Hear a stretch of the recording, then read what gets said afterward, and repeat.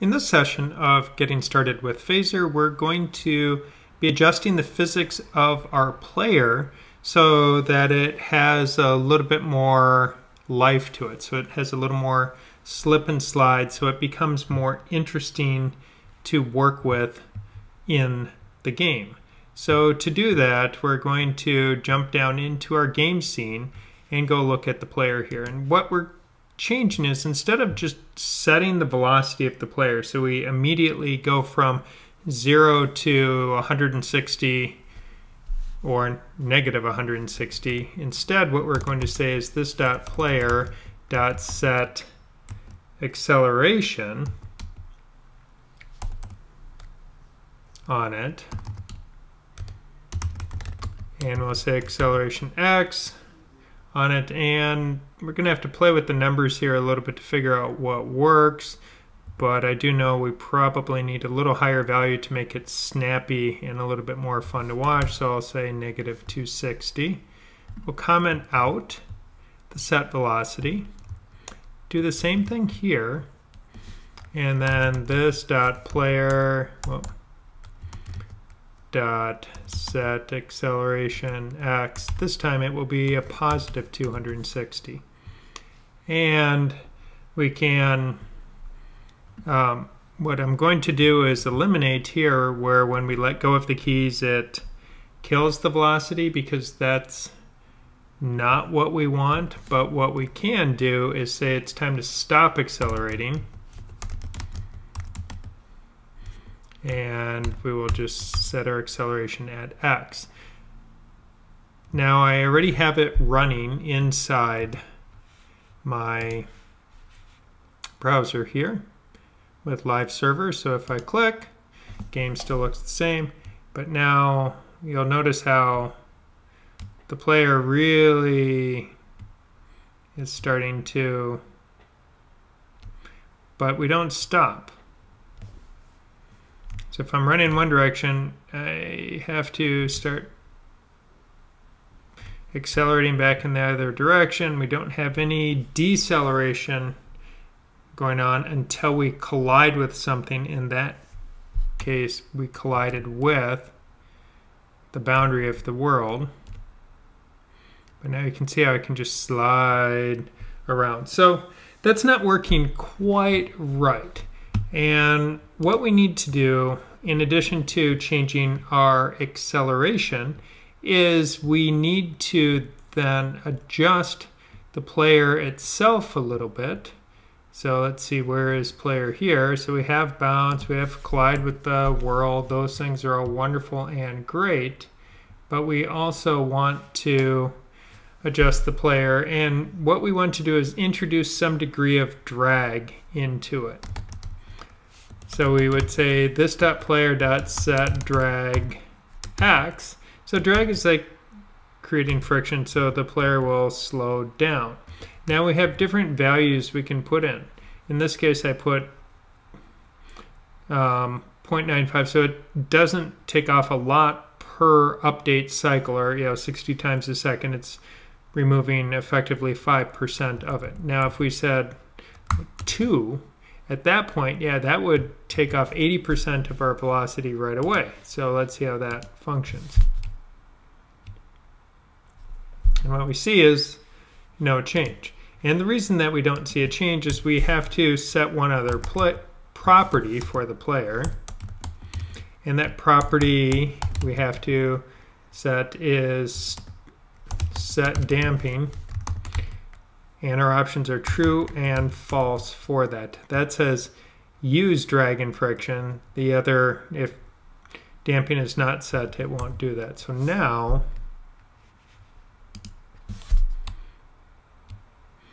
so we can see it's that at point two is almost like what we had before when we started today. But if I try again with say 0.95, now I can go and you get a little bit of slide. So we have that slide action going on there. Now, what I would like is while the player still has most of their velocity, I would like to see that they stay in that running sideways, so they're looking in the direction that they're sliding. Though what would be even better is to make additional frames of artwork, so then I would have a freeze frame body position where the character has, like, say, one leg out and an arm out for balance, and they're showing that they've stopped running, now they're in a slide position. That would be great, and that would be something else that you could include if you added it into your project. So to figure out what we are doing with this, what we really want or need to do is we need to be able to see what is the velocity of the character. So to be able to see the velocity of the character, what we have to do is let's just log this out so we can see it. I'll say this dot player dot body. So the velocity is a property of the body of the sprite. In this case, the sprite is the player. And the one we are looking for is new velocity. And we find this particular property by looking through the Phaser documentation, actually reading through the source code of the Phaser game engine. And here at line 293, we see the body's change in position due to velocity at the last step in pixels. The size of this value depends on the simulation step rate. So it's going to give us a value. So new velocity will be the value of what is our current speed on that particular frame so that we can see it. Now, when I go over here and go back into my code and save this, now we go back into our scene and run it and we'll see um, we see now this velocity is a vector, so it has an x and a y component. And if we only want to see the x component, then we could change it so that in our code we're looking for the x property of it.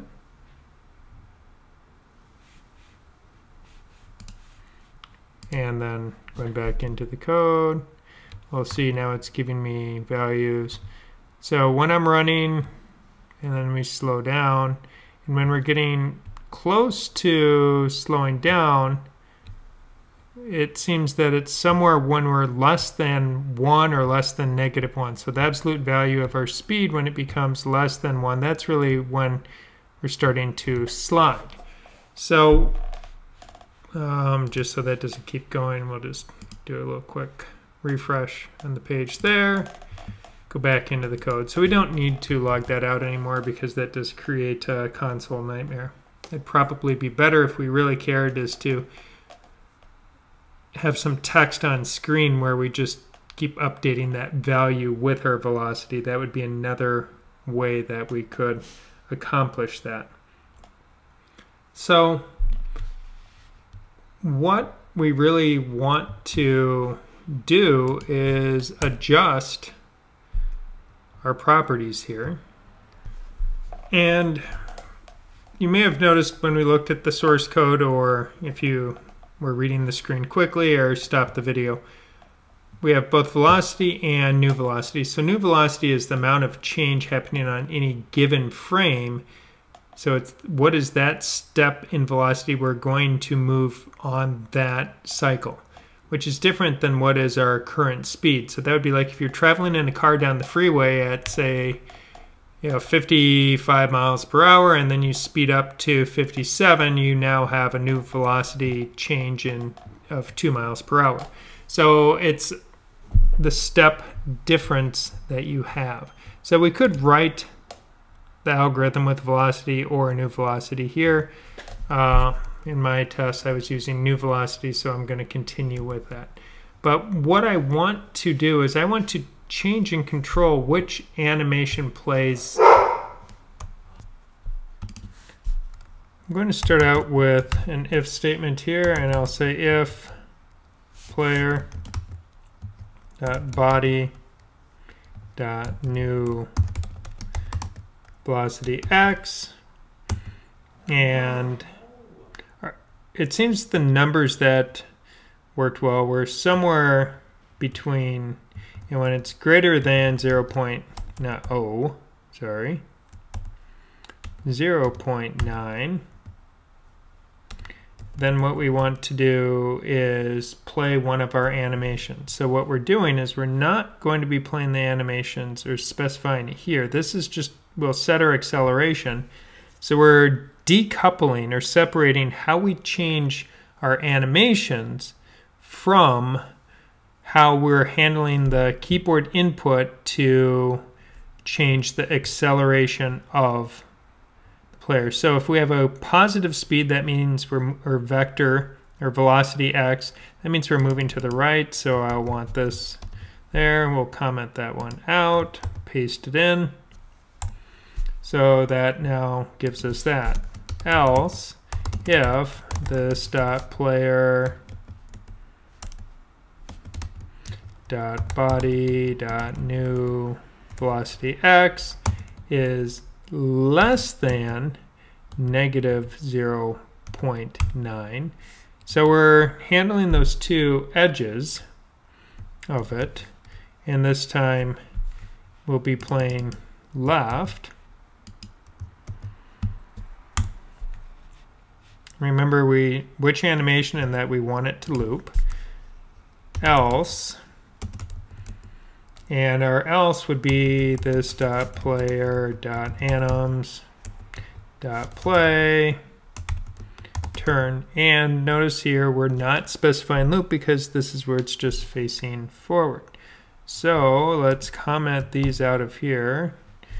Comment that out up there. So we just have our keyboard to acceleration there and now we're processing that velocity here which then allows us to handle the animations.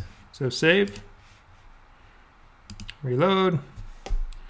So, well, looks like we got a little, uh, a little something something off, not working quite right. So it's kind of funny as I'm looking at going, what is wrong? New velocity x. It's not new velocity x it's new velocity dot x. Um, I'm not sure why I didn't get an error message. I guess though because I didn't get an error message because well that new velocity capital X not with the dot it would register as undefined therefore it's false therefore it's false so then it would just play this because that's how the conditional works so the conditional doesn't care that that's bad code. It just said, nope, that's not true, so I don't care what it was. So now when we save this, let's see what we have going here.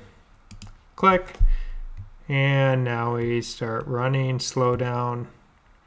And we stay facing the direction we're running until near the very end. And then we just have a little bit of slide. So I think that's definitely a big improvement to what we had going there. Now, what's kind of fun is you can really bump this acceleration number up so that the player accelerates very quickly, or you can make it small so it takes a long time to get up to speed.